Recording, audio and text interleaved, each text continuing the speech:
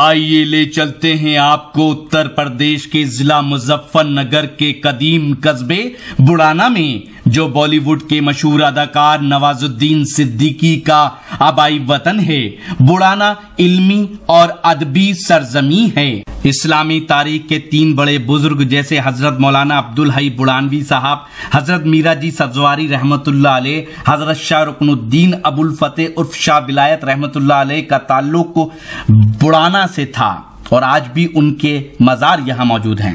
یہ ہے وقت میڈیا۔ حرف و نوا لٹریری اینڈ ایجوکیشنل آرگنائزیشن کے زیر اہتمام ایک جولائی دو ہزار سترہ کو بڑانا میں محفل مشاعرے کا انعقاد کیا گیا۔ اس موقع پر مشہور شاعر جناب فہمی بدائنی کے مجموعہ کلام پانچویں سمت کا رسم اجرا عمل میں آیا۔ ساتھ ہی بڑانا کے کامیاب طلبہ کا استقبالیہ پروگرام بھی ہوا۔ اس مشاعرے کے صدر رہے جناب محمد عمران ضیاء صاحب۔ مشاعرہ زیر سرپرستی رہا جناب ڈاکٹر اکمل راہی صاحب کے۔ مہمان خصوصی رہے جناب توصیف راہی صاحب۔ مشاعرے کے کنوینر رہے شاعر جناب افضال فاضل اور نوجوان شاعر جناب طارق عثمانی صاحب۔ آئیے دیکھتے ہیں اس مشاعرے کا یہ ویڈیو۔ ہیں، کبھی کبھی تو وہ اتنی رسائی دیتا ہے۔ کبھی کبھی تو وہ اتنی رسائی دیتا ہے۔ وہ سوچتا ہے تو مجھ کو سنائی دیتا ہے۔ دوستو آئیے، اس سلسلے کو اور آگے بڑھاتے ہیں۔ نوجوان شورا اپنا کلام پڑھ رہے ہیں۔ ایک اور ہونہار نوجوان، آپ کے ہی دیار کا، آپ کے ہی سرزمین کا، کہ جس نے بڑھانا سے نکل کر دلی اور دلی کے سے باہر دوسری جگہوں پر بھی اپنی ایک پہچان بنائی ہے، اپنی الگ پہچان بنائی ہے۔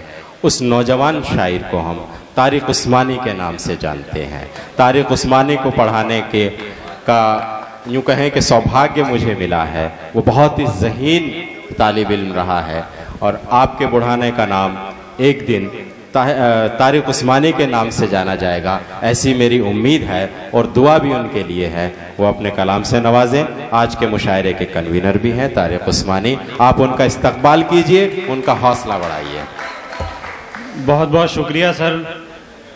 یہ میرا سوبھاگیہ ہے کہ میں میں نے آپ سے پڑھا ہے ڈاکٹر شیپر رسول صاحب کے سے میں نے سیکھا ہے۔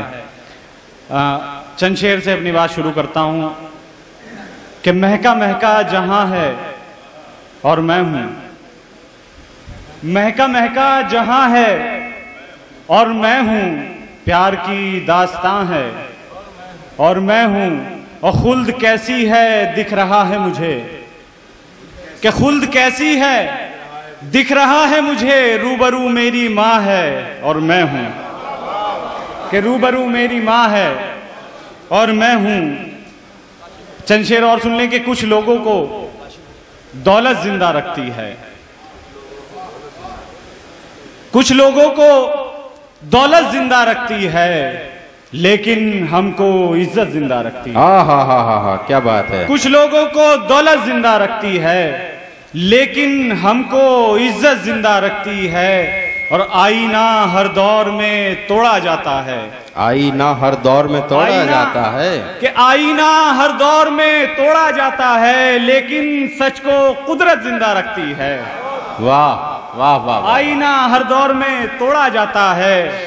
لیکن سچ کو قدرت زندہ رکھتی ہے اور یہ تاریخ کا شعر ہے کہ شاہد ہے تاریخ ہماری صدیوں سے کہ شاہد ہے تاریخ ہماری صدیوں سے ہم لوگوں کو ہجرت زندہ رکھتی ہے۔ شاہد ہے تاریخ ہماری صدیوں سے ہم لوگوں کو ہجرت زندہ رکھتی ہے اور ان قوموں کو کون مٹائے گا تاریخ؟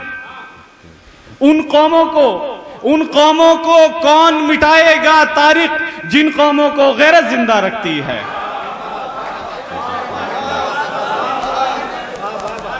کہ تاریخ ہے شاہد ہے، تاریخ ہماری صدیوں سے۔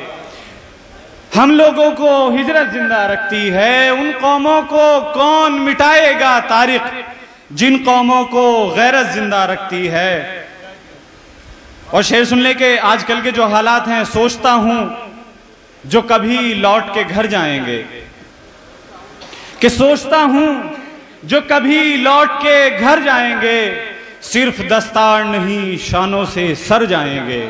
کہ صرف دستار نہیں شانوں سے سر جائیں گے۔ اور یہ بطور خاص یہ شعر اور جس شخص کے لیے آپ وہاں پہنچ جائیں گے کہ آپ کے شغل مسیحائی کا پھر کیا ہوگا؟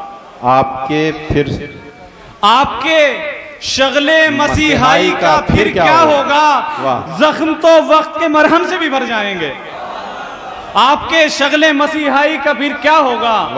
کہ۔ زخم تو وقت کے مرہم سے بھی بھر جائیں گے اور آج کل کے ہمارے حالات کے ہم ہیں سوکھے ہوئے پتوں کی طرح آوارا کہ ہم ہیں سوکھے ہوئے پتوں کی طرح آوارا ایک جھونکا بھی جو آیا تو بکھر جائیں گے۔ ایک جھونکا بھی جو آیا تو بکھر جائیں گے۔ چند شیر اور سماعت فرما لیں کہ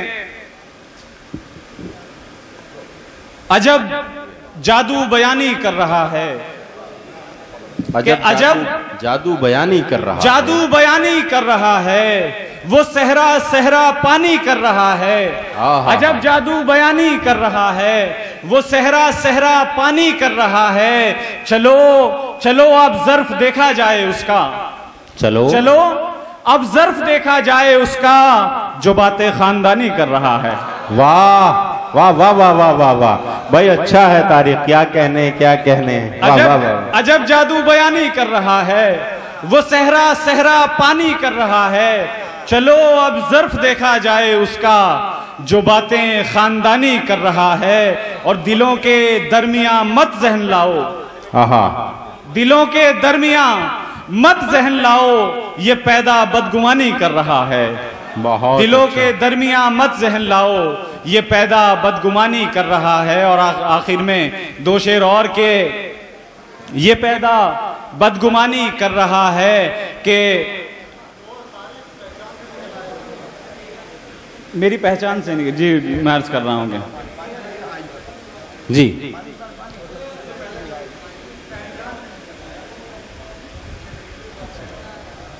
کہ سر چند شیر اور کہ جی حق ہے آپ کا۔ آپ کا تو حق بنتا ہے۔ جی پڑھیے۔